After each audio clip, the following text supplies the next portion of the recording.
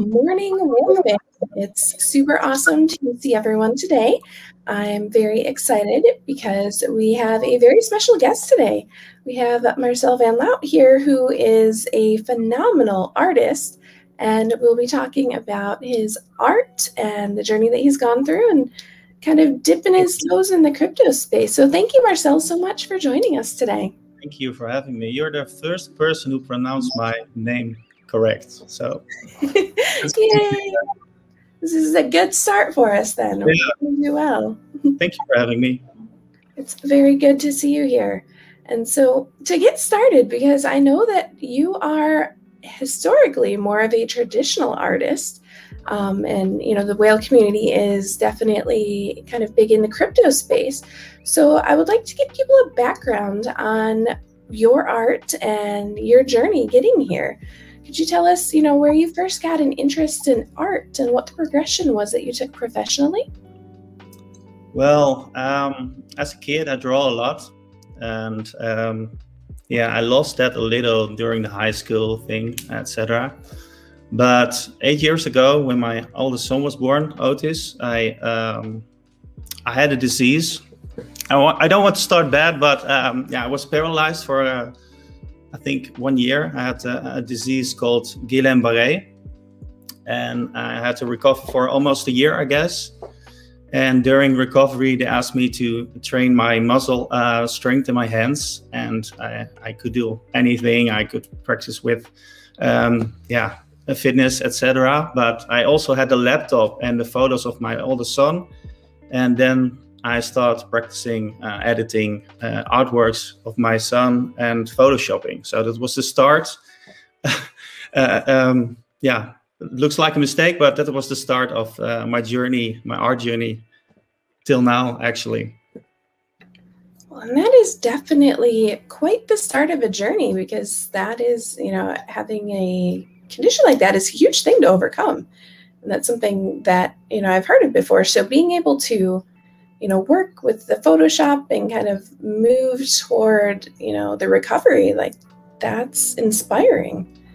And so I guess, you know, that kind of leads into the next question is what was your biggest source of inspiration? You know, and have Um, you found that to change over time? Being in daily life, um, I like I like nature, uh, all kind of animals. You see it a lot in my work, the combination with humans and animals. Uh, but also, I think, um, yeah, my kids, my children, um, the way they see the world, how they uh, fantasize things, and uh, that's a big inspiration for me also. And I always say my own imagination. I think that's the, the biggest source of, uh, of of the inspiration. Yeah. definitely looking at your work and i'm going to get that pulled up on the screen here for everyone as well once my screen participates i'll link your instagram in the chat for everybody too but it is super inspirational looking at all of these pieces that you've got here so here is your instagram and we can see, as you mentioned, that you have, you know, a lot of the animals, you have a lot of, as we scroll through, you'll also see children. There's Paris Hilton, who Correct. is also part of the whale community. So that's a really exciting thing. Being able to see all of these pieces and kind of where you've come from.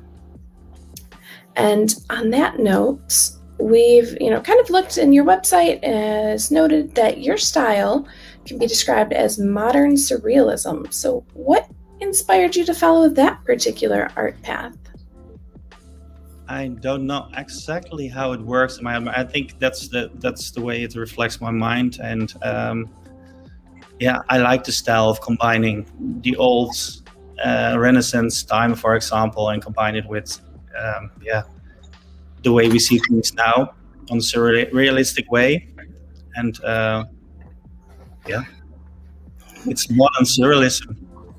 and it is absolutely magical Thank you. I know that uh, we've got the links posted your Instagram, and as people scroll, they'll actually notice that some of the links are animated, which is a really interesting thing because, as it is, like looking at the pieces and let's see, we'll bring that up again so that way we can see. Like even some of the images that do not have animation, it appears that there is actually motion happening in the piece just because of the composition. So, do you find that in your work, are there some images that just work better as still where you don't think they need the extra animation, or how do you determine whether or not you're animating? Well, I was very excited when this whole NFT uh, door slammed open, and uh, I was just busy with the physical world, and now I had I had the options for uh, to work with more animation, of course. Um, I think a still uh, image uh, not all my works need uh, animation because I don't think that suited suited it. Um, but some some um, pictures need a lot of animation because you have to pop. Because yeah, this one, this is Liberio. but not too much, I think, because otherwise it distracts. So it's finding a balance between. Yeah, yeah it have to be a balance. Yeah. Yeah, so you've got, and, you know, it's amazing because looking at these, you know, you have the pieces that are physical, you know, like we've got on the screen here, you're standing next to it, like it's a it's a big piece. But then you've also got digital, and that's a really interesting sort of, you know, combination, especially moving, as you mentioned, into the NFT space. Yeah, it was my vision from the beginning to um, work with high museum quality pieces and print it big and go for a handmade frame. And I thought my work from the beginning it would suit with my work. And um, I think that's the same thing I want to do with in the NFT space to make it yeah to drop only exclusive pieces and not that much. Ooh, so that's an interesting thing. So you're looking at only exclusive pieces yeah. to get into the space. And I know that we've seen a lot of artists who, you know, come in and maybe do like exclusives or then they've got, you know, the open editions. And so that's a, a very fascinating thing to hear, you know, the difference in theory there. But it makes sense given how exclusive your pieces are in real life. And you've done a lot, you know, you've got pieces that are in different galleries, and you've got a book coming out, which we'll get to in a little bit. Mm-hmm. Um, but one of the things that, you know, as we were scrolling through Instagram, we are seeing that you have pieces that, you know, you've kind of done on your own and also pieces that you've commissioned. Um, is there a process when you're doing commissioned work that you use to find, you know, a good fit for accepting clients or, you know, how yeah that work? I think my commissioned work is very exclusive. I want to keep it exclusive and have fits really with the vision of the client. Um, I'm doing not although uh, everything what what comes in, I um, don't accept everything because it has to fit with my art. And um, lately, I think most of my clients now uh, they don't have a list of things they want to see they say just go we trust on your vision and we like your work and yeah. We can take it to paris hilton just because she's you know been such a big name in the space here in crypto. And like here she is with this a glorious piece. Like there's no other words. It's amazing. Thank you. So that's fantastic. And you know finding the right fit. And i really like i don't know that i've seen a better portrayal of paris than this one here. So i'm happy to hear thank you. Yeah. It's amazing. Actually, one of my biggest works to, uh, uh, until now. I thought it was two meters high and one and a half in, in, in wide. So, yeah. Wow. So that's very big. And and with that, you know, are you because you had mentioned doing Photoshop, but how are you actually completing these? You know, what materials are you using to make a piece that big? Um, we work in one of the, yeah, the best labs in Europe. Um, it's it's a printing studio, printing lab. Um, there we uh, print it on fine art paper, and then we're gonna mount it on DiaSec. And DiaSec is sort of museum quality acrylic, so it's it's the best of the best. And uh, also the frame around it, it's a whole experience. framing yeah. is definitely an experience. Yeah, that's for sure. So with um, you know, doing, you know, as you mentioned client work, there's also a collaboration that you were working on recently. And let's take a look at that because I think that that is, you know, a kind of interesting we've got the trailer here.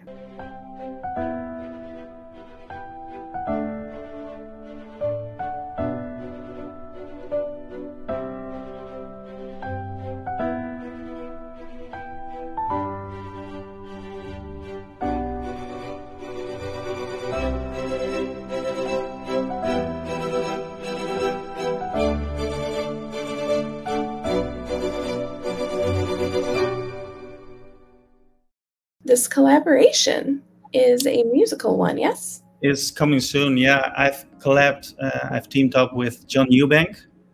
He's one of the biggest uh, music writers from the Netherlands, and um, I've made an animated version of my flower series, and in this this one is uh, the the giraffe version, and we are planning to make um, four animations of the flower series with different animals and stories.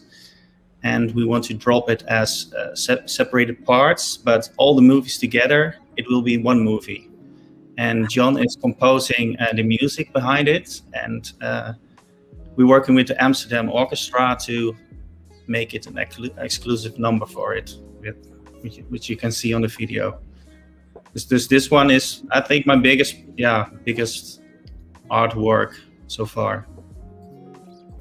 That is amazing. Like being able to actually collaborate as a physical creator with an orchestra and have a series of your pieces turn into an audio experience. Like how does that feel? That's something that you had imagined even, you know, a couple of years ago that you'd be able to do? No. No. Now, this is, yeah, this, this is really amazing. This is a dream coming true because um, it was one of my biggest dreams to do something with uh, a musician or, or something like that. This, so yeah, this is my biggest dream actually, and it will become uh, a big drop, I think. And that's definitely interesting, being able to evoke those emotions both visually and now also, you know, with the auditory. That is fabulous. Thank you. So, as we were discussing, I know that you know you started mentioning with your you know art progression that you started with Photoshop and you know now you're getting the printing and kind of you know all the framing and the mounting and that's a huge process um, having art that exists in both the physical and the digital space has that kind of always been the case or did you just start doing digital where how has that path progressed well, um, I was very busy in the physical space, and then what I what I said about that that door that slammed open, um, it was something new for me. And at the beginning, I thought I had to rush also with with my artwork and I have to mint things. And but I think after uh, a week or so, I thought, okay, have to, we have to do this thoughtful, uh, as also as I did in the physical world world. Um, we have to plan it thoughtful. We have to uh, make a team, uh, making a team around it, and um, absorbing um, yeah all the info I can find on communities, etc. So um, yeah, that's that's the plan how we work it out, and then we joined, uh, we connected with you guys with the whale community, and yeah, it was the thing I want to learn from you guys also definitely getting into yeah. you know, not just now the digital, but like the full blockchain NFT space. Yep. So that's been a fun progression. And you're also, as I mentioned earlier, working on a book launch. So that's something as I was looking into your art and just like kind of, you know, jaw open at your Instagram and your website, seeing all of the things that you've done. Um, you know, you've got this book launch that is happening. And is that something that you can provide us um, some details about? And we'll get that pulled up on the screen as well. So this is your website. And there's the book. There we go. So we've got this book launch coming up. And, you know, tell us about this. Um, we're working, um, we started one year ago, we had a plan to make a, a real exclusive uh, yeah, book. So we started with a plan for a limited edition where we can, uh, when you buy a limited edition, you get also a, a fine art print, two prints actually. And half a year later, we uh, we planned this coffee table book. There are more than 200 photos, artworks in it, and with some short storylines and quotes. And we will print it next week, and we're sending it also. So the pre-order uh, was uh, last month, and it will be in stores, I think, within a few weeks. So, wow. yeah. That's amazing. So then we'll be able to have your art on our coffee tables. Yeah, it's very cool to own an, a book as an artist. That's. Uh, I can't even imagine. Like that's. I'm excited for you, and I'm not even part of the book. Like this is fun. Yeah, and this publisher is he's he's very um, he's very amazing because he made a Rijksmuseum book uh, from the museum and also the Van Gogh sketchbook. He made a special uh, edition of it. So it's um, an honor to work with um, such a talented guy. He's an artist also. Yeah. That is oh my gosh it's great when you find people that are you know helpful and great to work with and Absolutely. being able to do the things, you know, get your vision out into the world. Like there that's a really amazing thing to see. So I guess given, you know, kind of the journey that we've gone through so far, and I know this is an introductory conversation to get you introduced to the whale community. So we're not jumping all into the details of your NFT adventures yet. We're going to save that for another time. But just a quick overview like from your perspective what gives you know makes launching an nft project the next logical step in your creative progression here?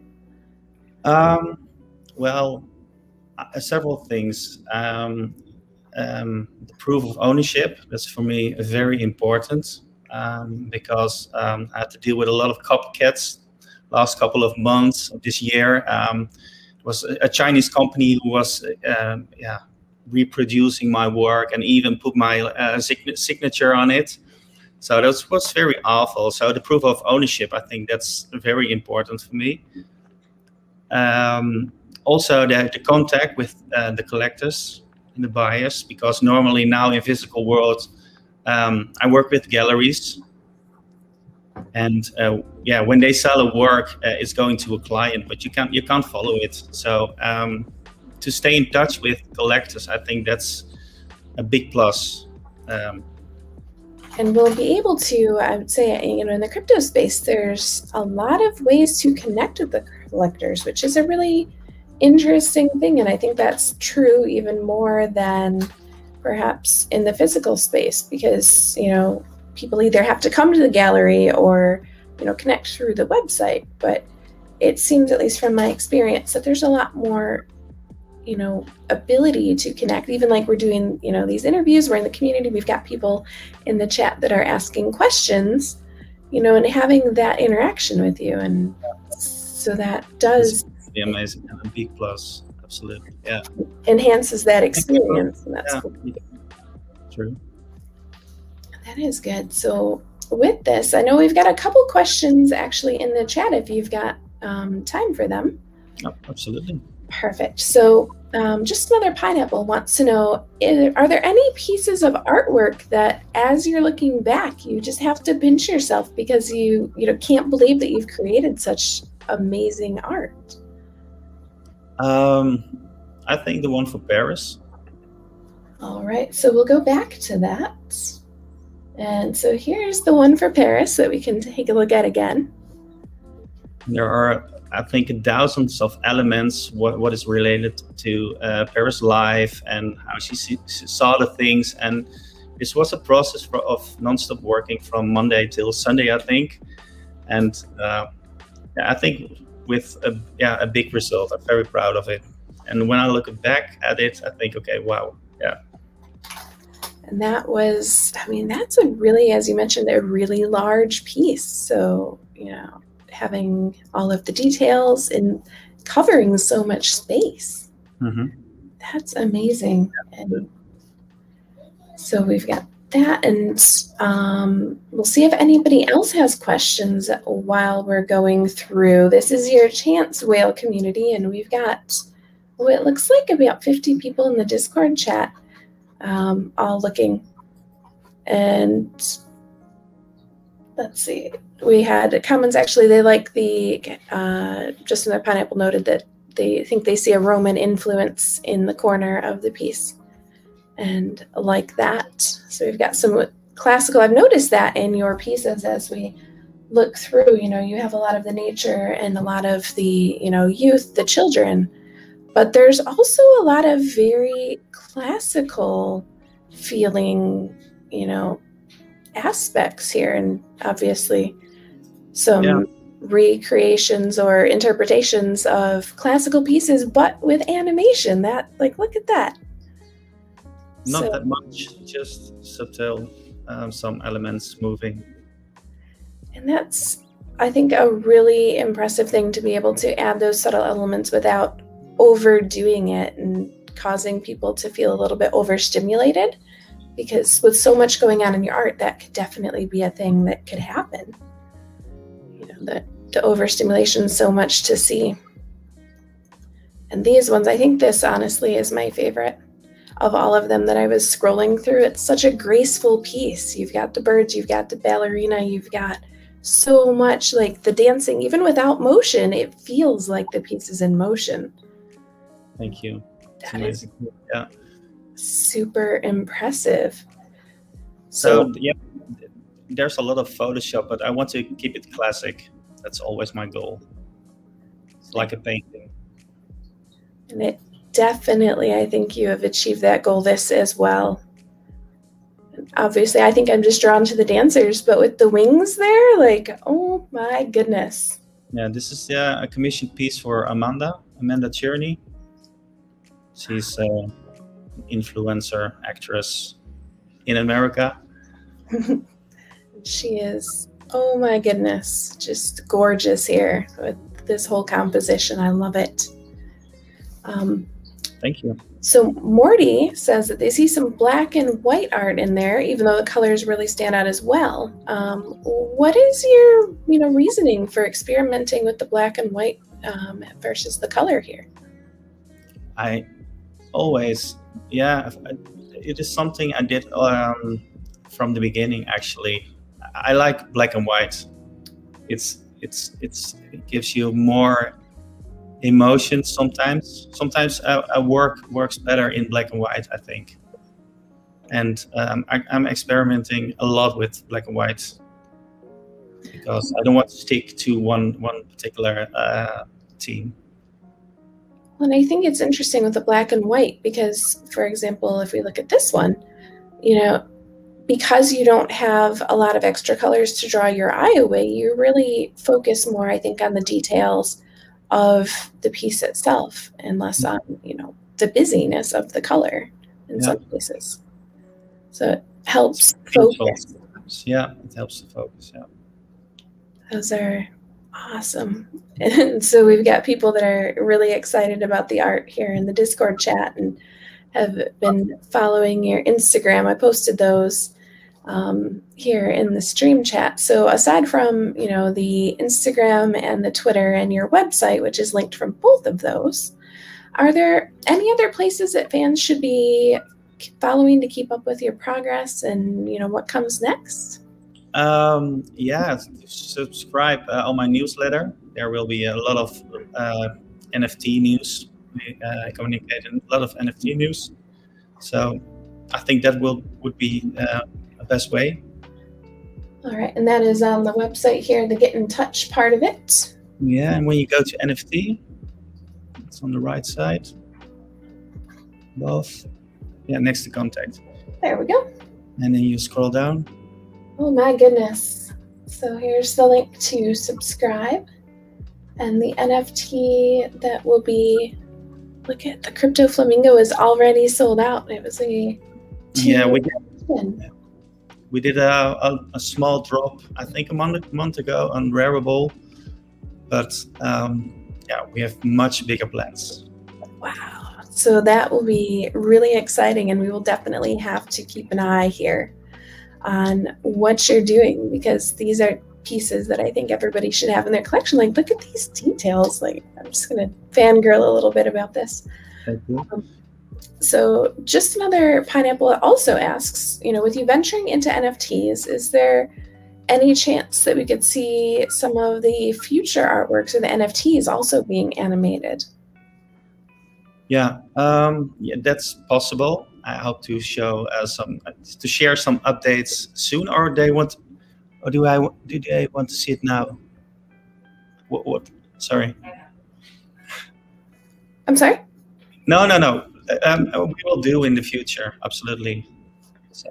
Awesome, and that will be exciting to see the progression and deciding for you which ones do you get the animation and which ones don't. It'll be a fun surprise for us. And um, another question that we had is, you know, noting that keeping in contact with your collectors is important. Is there a specific medium in mind?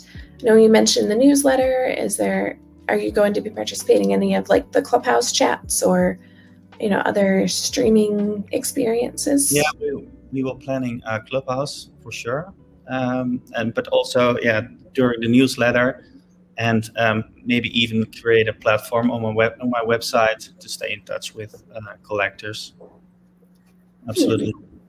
That is exciting. The community is excited. They even noted you gave him a wink, wink, blink, blink, which is something that Whale Shark does when he's hinting, you know, new leaks. So that's wow.